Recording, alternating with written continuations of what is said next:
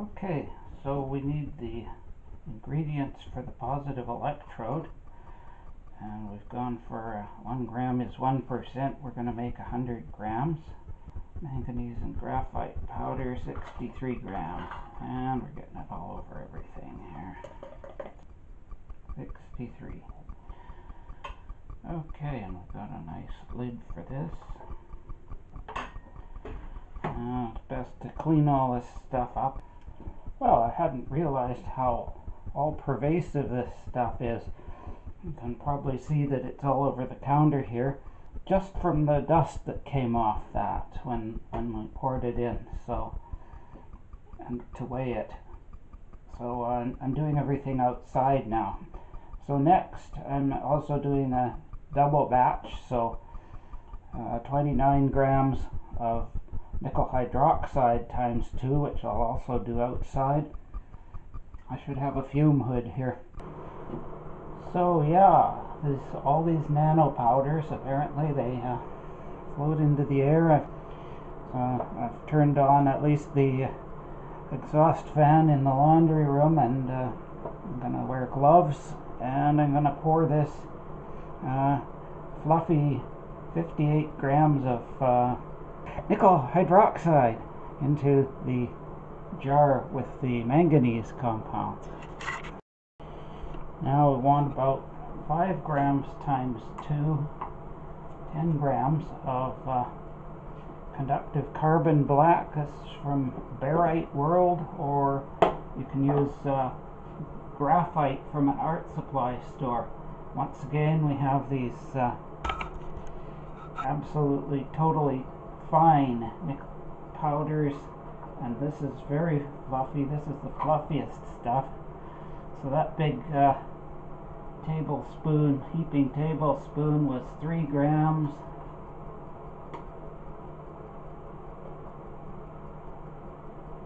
Eight grams. I did this outside. I think the wind might just go into my bucket and blow it all away 9 grams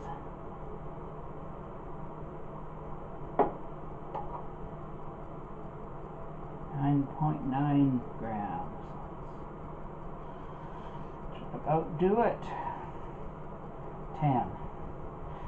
Okay, and once again we'll go outside and pour this into the jar with the other things. Okay, out with this and mix pour it in the jar. Now just wipe off the counter here and wipe up these black powders. You'd swear that it's creating more streaks than there was material to make the streaks, but that's how fine they are.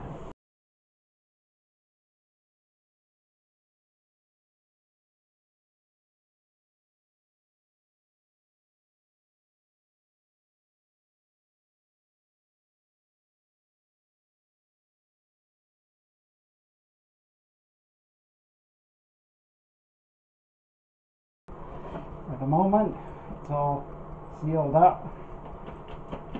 Needs to be thoroughly mixed. I filled it with water and stirred it all up. I had a terrible time with the lumps from the uh, old dry cells. Filled it with water and added bleach, and uh, that's to get the reactions happening to more oxidized levels and uh, and intended to uh, dilute out any impurities and I've poured off this much water and added more distilled water so far. I also spooned out this uh, ashtray full of uh, powder and I'm going to grind that up now into uh, powder again and it should be very fine powder that I grind it into. So I'll pour this water off again. It's been sitting overnight, so it should be uh, pretty much water. Even though it still looks completely black, I can see it's clear where it's coming out.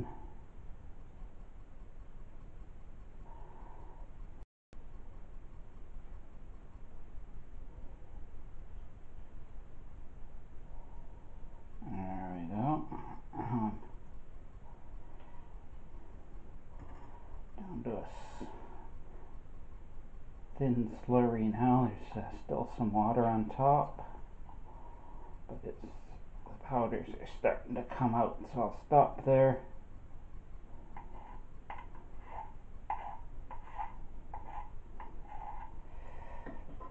And just set that here and resume later. Some of it spilled this time. Mostly this using the stick when you pour keeps keeps it coming down the stick instead of just running down the side of the jar. So now we got to take this and put it into the mortar.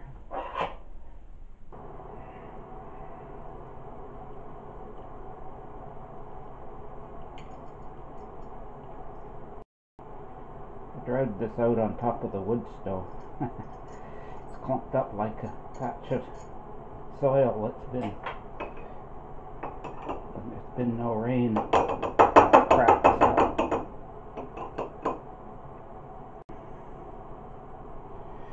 That's coming nicely into powder.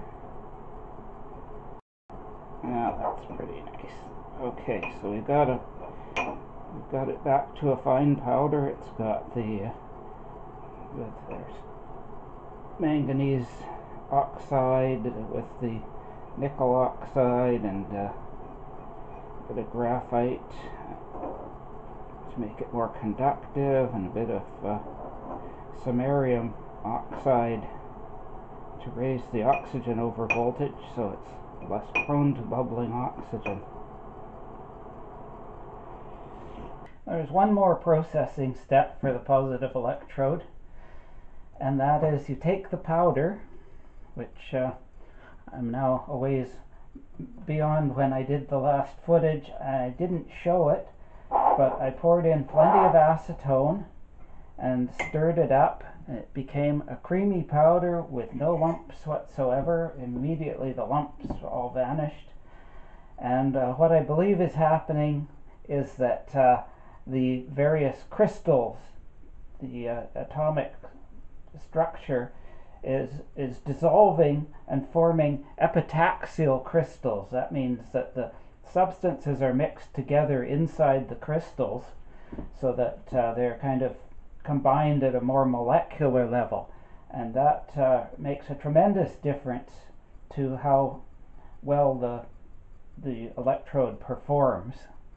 So basically, I'd say don't even try without uh, without uh, immersing it in acetone and mixing it to a creamy powder first and then uh, of course you set it somewhere warm or on a on a hot plate and uh, dissolve uh, evaporate out the acetone.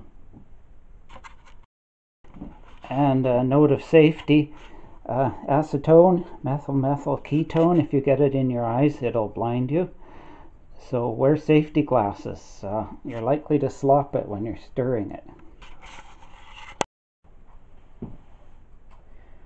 Now thinking about the order in which these things would be done, I would think the first thing to do would be to uh, further oxidize the manganese oxide with bleach to make it its maximum oxidation.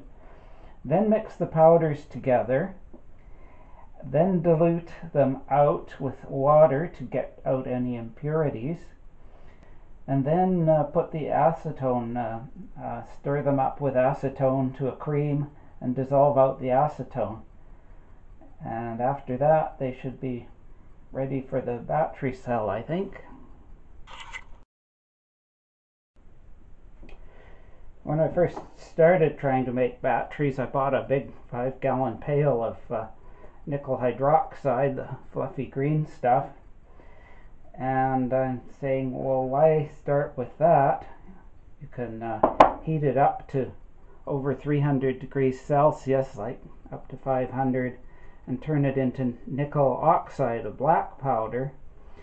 And it's more dense and lower molecular weight and uh, it might work out better in the acetone and, and give more and it'll turn into back into nickel hydroxide when it hits the electrolyte anyway in the battery cell and I'm asking myself why I didn't start with just uh, a bag of nickel oxide from the pottery supply store.